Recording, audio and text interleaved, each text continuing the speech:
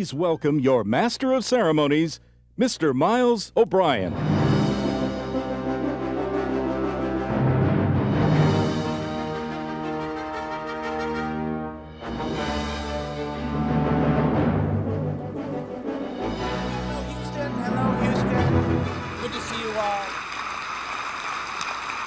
Something for you. Now, I know, I know you're upset about this shuttle thing, but I come from Washington. You know I'm on the NAC, the NASA Advisory Council. By the power vested in me, I present to you a space shuttle. I should tell you, I'm gonna, I've got my uh, Twitter feed open. At Miles O'Brien is my address on Twitter. And if you want to chime in with a question or a comment as we talk here, I'm going to guess this crowd has a lot of portable mobile devices. Safe to say? All very well secured, I'm sure, as well, too. So let's talk about uh, how things are going. You have 455 people on the wait list, maybe 456 or 7 today, who knows, uh, who have put down some money for this. How soon before they get to fly? I know you and your family had planned a, a Christmas 2012 vacation to space. Is that going to happen? I, I think so. I think we'll be um, finished and ready for next Christmas. And um, my kids have reached an age where they, they love to experience some of the adventures that I do to, uh, together. So I'm very, very lucky as a father to be able to share, share these kinds of um, wonder, wonderful things with um, Holly and Sam. Um, and then the following year, uh, we should take more people to space uh, in that one year on a you know, commercial spaceship company than NASA and the Russians have taken to space in the last 70 years. So, um, which Well, I, I know. I know you know the number, but we should tell the crowd here that basically, in the entire history of the space age, about 50 years or so, only about 500 people have gone to space. Yeah. And your wait list is about that length, right? Yeah, I mean, by the end of this year, it will be 500. You uh, young men and women like a good challenge. It's obvious. I'm here to give you one more. Actually, this is a mandate. I have no authority to give it, but it's a mandate. And here it goes. You are the best and brightest. You will be leaders in your fields. You will solve, we hope, the world's myriad of problems. I believe you have a moral obligation to reach out, to educate, to inform, and inspire the rest of us. Now, I know this is not easy. You know, just because you can find a new species of sea slug, or learn how stars form, or understand how ground beetles relate to ecosystems, or find a way to test water potability with a phone, there is an app for that, just because you can do all these things and more, does not mean you're necessarily inclined or have the talent, or for that matter, the desire to translate the intricacies of what you do into something non scientists can relate to, much less gush over. But I submit that all of you must try, and some of you will find you will be good at it. you know, I would say probably the highlight of my time, really the highlight of my career, was this day. This is October of 1998, October 28th, uh, the late great Walter Cronkite. I had the good fortune uh, to be his co anchor. I think I'm probably the only person on the planet who can say I had Walter Cronkite as my co anchor. That was a highlight. A low light in a, in a profound way for me was, of course, this day, February 1st, of 2003, the loss of Columbia and her crew. There, there, was a personal piece of this, which I should tell you about. I was, of course, had been covering the shuttle missions for quite some time and own an airplane and fly the airplane. And I had convinced NASA to let me become the first Western journalist in space, the first one to fly on the shuttle. I was all set to go be on the space station. We had a deal. We were going to announce it about two weeks after what should have been the landing, the safe landing of Columbia. And of course, that all um, was over in that moment.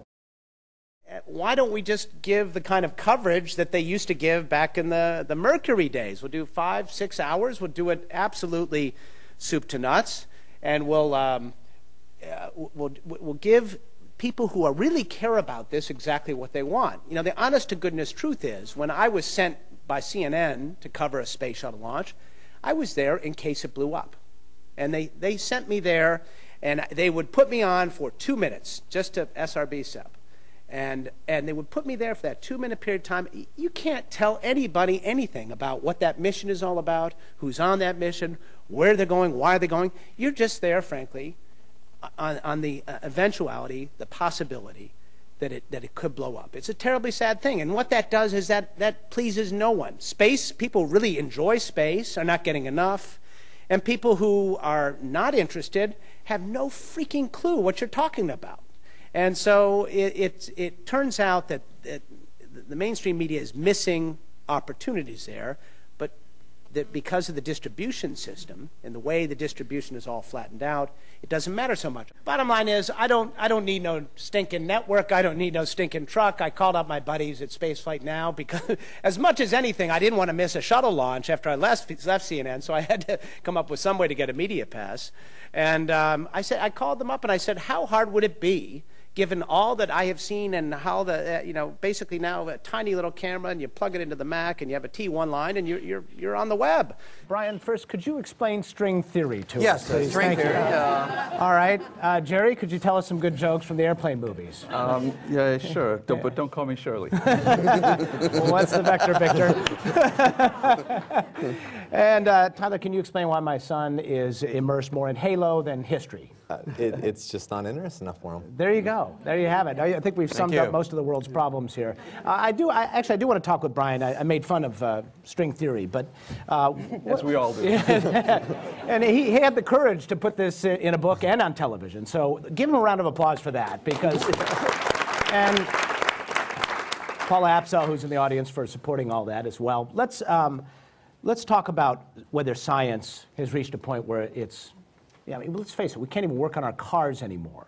Uh, are we at a point where it, it, becomes so complex that it's off-putting, and that's why it's hard to get kids engaged? Well, I don't think it's, it's that we've gotten to that point recently. I think for a long time, science has been framed in a language that many of us don't speak, which is mathematics. That goes back to Newton. So if you're not able to follow the language, it's very hard to immerse yourself in the subject, which makes it hard to get excited. But what we need to do is build bridges from the language of science to the more ordinary language of everyday concerns. And that is something that many of us in this room try to do. But when it's string theory, it's hard, isn't it? You know, string theory is easier uh, in some ways um, yeah. than. Yeah. you got some Jerry string theory jokes there, Jerry? Come on, you got a few, right? No, I, I, agree. Brian and I talk about that all the time. We do. It's pretty simple stuff. I, I, know there's a lot of bruised feelings about the, the space shuttle and where it ends up and what museums it goes into. But I just want to say, when I think of this room and when I think of Houston, I don't think about museums and I don't think about relics and I don't think about docents. I think about doers. And to the extent that we bog ourselves down in a debate over where the relics go, I think we take our eye off the ball. The people in this room are all about smoke and fire and speed and exploration. And let's stay focused on that as our goal. The final frontier is our goal in this room, not where we pickle and chalk these old crafts, all right?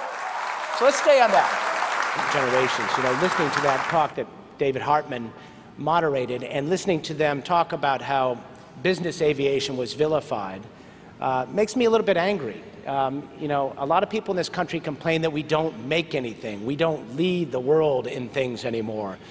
Well, this is one place that we do lead. And do we want to squander that lead? Because surely there are other countries waiting to take our place. You know, Mars is my second favorite planet. And many of you in this room make me feel as if I've been there. How cool is that? Thanks for the outstanding vicarious thrill ride these past 40 plus years, especially these past five. Sometimes I think we take for granted uh, how amazing it is, how awash we are in these wonderful images, these high resolution, panoramic, microscopic, three dimensional images shot on the surface or in orbit.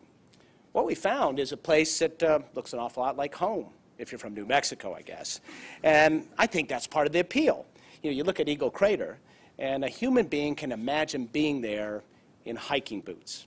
Uh, it's truly a transformative experience. And when you consider all the proof we have now amassed here, or you have now amassed here, that this place was once warm and wet, you can't help but look at those pictures and think about our place in the universe and wonder and how close we are to learning if we actually do have some company. How great is it to be alive at this time when we just might learn the answer to that question? So now we're in a world where one network reports with a straight face about a study that suggests staring at breasts, a woman's breast presumably, is good for a man's heart. Now, as we say in the newsroom, there are some stories too good to check out. That was one of them. Alas, the study was bogus, much to the chagrin of many men in the newsroom. The result of this, frankly, is a hungry, abandoned audience out there. The Pew Research folks did a survey not too long ago, and the subject uh, that people are most interested, according to their poll, that they get the least of is guess what? Science. No surprise, right? Now, I could go on and on here about the terrible state of the media and how we might fix that. But I'm aware that the longer I talk, the more you kids have to wait for the announcement. Did I tell you about my childhood? According to the Poynter Institute, the industry lost $1.6 billion in annual reporting and editing capacity, that means people, since 2000. 30% collectively of the newsrooms are gone. So just try to find a science and technology correspondent at a newspaper, a major newspaper today, uh, subjects you all care about. It's like find, trying to find an engineer at a poetry reading, right? It ain't going to happen. Um, well, maybe there's a few of you, I don't know, but this is the evening news. You know, this used to be the gold standard ABC, CBS, NBC, evening news.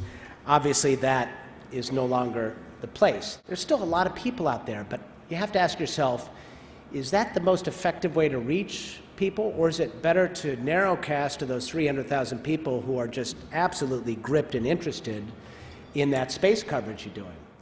Just a couple of cartoons I want to leave you with. Uh, actually, he says there, I work for the newspaper, but people will talk, won't talk to me without it, referring to the camera. Uh, and then this one across the um, kitchen table, we need to start seeing other news sources.